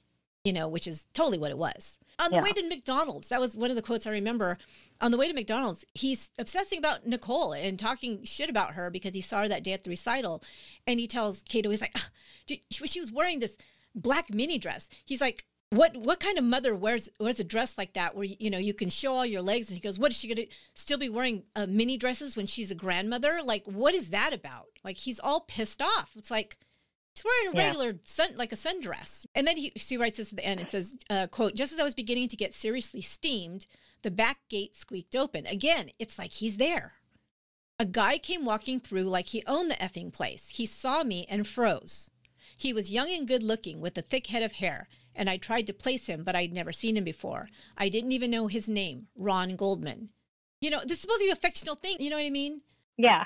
You're describing him. You're talking about how the gate squeaked open. Yeah. Like, how would you know these things? Yeah. Like, It's so crazy. It's so, so crazy. Because he says this, he accuses Goldman of planning to sleep with Nicole, and Goldman denies it. Now she's at the front door saying, Leave Goldman alone. He was just returning glasses. This is the part he writes in the book that I was like, I didn't even think about this, but this this is too weird. yeah. Nicole's Akita, the dog, uh, Kato, then comes out of the house and it wags its tail to greet Ron. This convinces Simpson, he writes this in the book, convinces Simpson that Ron and Nicole have a sexual relationship. Simpson yells at Goldman, You've been here before. So in his Mhm. mind, he's now justified in killing this guy, you know, because the dog wagged its tail. What dog Yeah. doesn't wag its tail when somebody, you know, And some dogs wag their tail when they're on alert as well. mhm. It's not a friendly wave. It's not always a friendly wag. No. It could be like a, anxious. what's going on here. Mhm. Yes. Plus, it knows two of the three people in this scenario. Right. Yeah. So it's going to be like, okay, what's going on? Are we hanging out? What's up? Yeah. You know, not to mention the fact that they did say also that the police, when they got to Rockingham and Fuhrman ju- jumped the fence to get onto the property, that there's an Akita on um, OJ's property. Yeah. That comes up and is nice and lets him sniff his ha- and sniffs his hand. Yeah. And doesn't attack or anything. Right. It's not barking. So it's like- not, Yeah, so that's an Akita that, you know, even somebody got onto OJ's property that jumped a fence, it didn't attack. right. So, Yeah. not the same dog, but still. It's, it's so funny because, you know, I go through this whole thing and I'm thinking, you know, we really didn't really need to do all this because it's so, I mean, the evidence alone is so compelling and there was so much of it and it was so immediately apparent of how this crime took place. Follow the blood Yeah. trail. We didn't weren't even they weren't even thinking of OJ at the time, you know, because they didn't know the whole history of Nicole and OJ. Um, they may have for sure looked at him as a sp- suspect later on, but this was within a couple hours, and they go to the house, they see blood there, they see the glove that matches the other glove, and they're like, "Holy shit, something happened here!" And they go in there, and before they know it, it's like, "Oh, okay, now we're putting all this together, and he is the main suspect." I mean, this is how investigations work. You follow the evidence, and it led directly to OJ and nobody but OJ. But it was able to be twisted because you have, if you have enough money, and you have the lawyers, and you have the the prosecution, like you said, went too much into the weeds in the trial where they should have, Yeah. you know, There were a lot of, yeah, if, if, I mean, if you want to, you know, go through everything on your own and investigate, maybe you've never really deep dived into the OJ case, but Right. All of the problems with the actual prosecutors, what was going on in their lives, what Judge Ito was allowing, what, mm-hmm. you know, I mean, if you put it all together, the climate in the country at that time, yeah, if you put all of those things together and and you just see how it all got put together, you're like, it's incomprehensible that with that much evidence, he would have been able to get away with everything. But once you put it all together and you can see a reasonable doubt, you know, where it came from. here's the last thing too it's over a year's worth of testimony thousands and thousands and thousands of exhibits uh, tests dna tests bloods you know fiber timelines witnesses witness statements police records on and on and on that the jury sat through four hours deliberated four Yeah. hours before returning a not guilty verdict Do you really think they considered all the evidence? No. I think they thought No. they did And- because in their mind they were like, this is what the defense attorneys were great at is everything that the prosecution threw, they confused the issue. They talked around in circles, Mm-hmm. around and around in circles until people were like, I don't know either way. So I'll just say, yeah, I can't, I can't say that that's for sure or not. And honestly, there were, and I this is what I've I'd heard, um, and I don't know, I don't remember the source, but I do know that it, you know, it was put out there that apparently at least one of the jurors had said, "I don't care what the evidence is, there's no way I'm ever going to uh, uh, vote to convict." yeah. because of what had happened with the Rodney King. They were considering this O.J. Simpson trial the retribution for what had happened, and that those officers that had beat Rodney King had not been had not you know had been found not guilty. Right. But the two defendants could not be more different.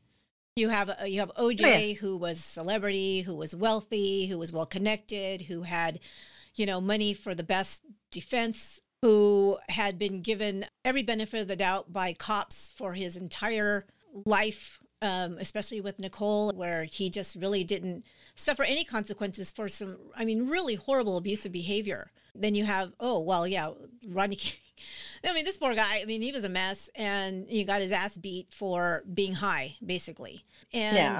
so it one did not equate to the other I mean, at all. No, no. I mean, it was. I mean, it all- all the entire trial started off. You know, when they moved it from the area where the actual crime occurred to moving it to downtown Yeah. proper. And part of the reason they did that was because they were like, well, it's got to be a jury of his peers, and they thought it would be better to do it there, where it would be more of what people would perceive as a biased uh, jury hmm based on the ethnic background of the uh, jurors that would be pulled Right. from that area versus L- downtown LA. Yeah. And and a lot of the things that was um, funny, you know, if you you take a look, you know, don't want to get into all of the race things, but but during that time, I mean, the majority, OJ, yeah, he had friends that were black, but he had a lot of friends that, that were not. Yeah. You know, they were all different races, and and he ran in the circles that were not necessarily of his background. They Right. were, you know, people with money and people that were, you know, look at Robert Kardashian was one of his good friends. Right. Yeah, and if you, You if know, you really it- want, it if you really want to get into into that whole thing, because I think it's really interesting to see like where he came from and who he really aligned himself with,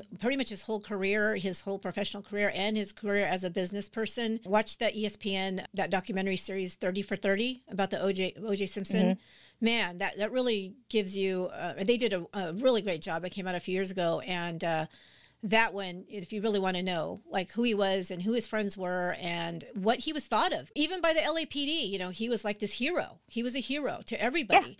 They were not, you know, trying to be against him or, yeah, he's going to, you know, just frame him. There was no reason at all. There was no indication at all that they ever thought of him anything but a good guy, a valuable community member, a friend to the cops. You know, even though he was he was a Yeah. abusive And- asshole, but they that didn't You know- that didn't bother them that much. and even with all of this information that's come out all of the the trial all of this evidence all of you know the 911 calls all of that that stuff do a little you know uh, investigation of your own go on tiktok go on instagram go on anywhere Mhm. and look up oj simpson and look at all the people that have uploaded videos hanging out with OJ, taking pictures and selfies with OJ. Like he's just still the biggest celebrity in the world. Yeah. The man is a convict. Yeah, you know, I mean, maybe of- not for murder, but he did go to, Yeah. to prison. Mhm. Yes. Yeah. You know, it, it's like, but yet he still has this persona. He's still that person. And can you imagine when he was in his heyday and the amount of people that were like in awe of him? Right. It, it still, it still happens today. It happens today. You know, and it's all like, this. You're right. You're right. Yeah, it makes crazy. no sense. It's crazy, but that's our cult of personality we have in you know in the world and especially in America. It's like you celebrities can do no wrong. I mean, we're we're getting it's changing a little bit slowly, but there's still a lot of it. You know, uh, people love to talk Yeah. about them, and you know, people want to talk about cancel culture and this and that. But celebrities really get away with a lot before anything happens. You know, if Yeah. to, you know, to be honest, it, Well, it really does. Unfortunately, with cancel culture, it seems like you can do one little tiny thing and somebody jumps on it, and then you know, Yeah. then they're the worst person in the entire world, and it's like, okay, that did you see what this other guy did? You know, Yeah. like, but it's crazy. I'll put links up to some of the stuff. You guys want to go into the weeds uh, because there's there's a lot. That's like I say, we barely scratched the surface, and you know we talked about a Yeah. a bunch of things. But anyway, that's our take on it. You guys can believe what you want. I do. I will say this that because true crime has you know exploded and there's so many things out there, you will see things where people will take it from this other vantage point and say, well, he could have been framed. It could have been somebody else who did it. It could have been a drug dealer. It could have been, you know, this and that. There's all these different theories that really hold no water that have all been debunked if you really look into them, or they're just theories that really have no weight behind them at all. It's just interesting to think about. And of course, it's because The only people might want to see. They want to watch that to see, ooh, Yeah. what else could have happened? You know, but I have not found anything that the only other theory yeah the only other theory that i I'm you know would kind of go with is that could there have possibly been somebody else there with him? And in my mind there is and there is only one person that i think that might be. I don't think that it, it was ever looked into enough. And if y'all want to do your own research you can figure out who that is pretty easily. I won't go into it but um you know there's no evidence. Let's just put it this way. He retained a lawyer for someone pretty soon after the police talked to him. Mm. Somebody that was never even mentioned or looked into so why yeah, yeah. i don't know i mean but Yeah. that would be the only other thing that i could think of and I mean, maybe was there a getaway driver? Maybe you know, because oh, when I was reading um, the reports with the detectives, they were like, you know, the only blood drops we saw, the only footprints we saw, it was only one person. We believe it was one perpetrator, you know, there. But Yeah. could there have been somebody who drove him there? Somebody who maybe, Yeah. you know, there there is somebody eyewitnesses- standing off to people the side testimony yeah. whether it's a woman who says that she saw OJ, you know, driving that night. But those eyewitness things, I don't know how much weight I give them because people can misremember things or just want to be part of the story. So I, and I also they were in that same area where he drove all the time Yeah. so Could have seen you know another I mean, it could have been a different day Yeah. So Yeah. I don't know. I mean, they're interesting to think about, but unless they're corroborated somehow, I- don't think you can put much much weight behind No. those. It's interesting to think about. But anyway, I just want to say thank you for coming and helping me with this discussion. Yeah, it's always fun, and people always like how we tend to kind of riff off each other and.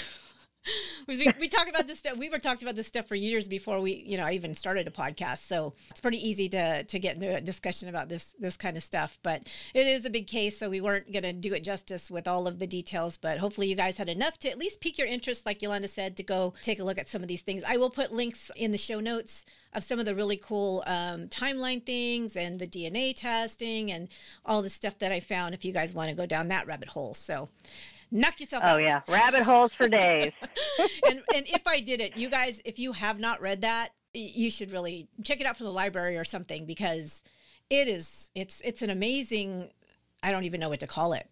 I don't even know what to call it. yeah It, it's just and yeah. and the money goes the money for any of the sales of that book go back to the family Yep, go back to go back to victim's family. So yeah, it's it's yeah, it's, Yeah. you won't feel bad about about reading it.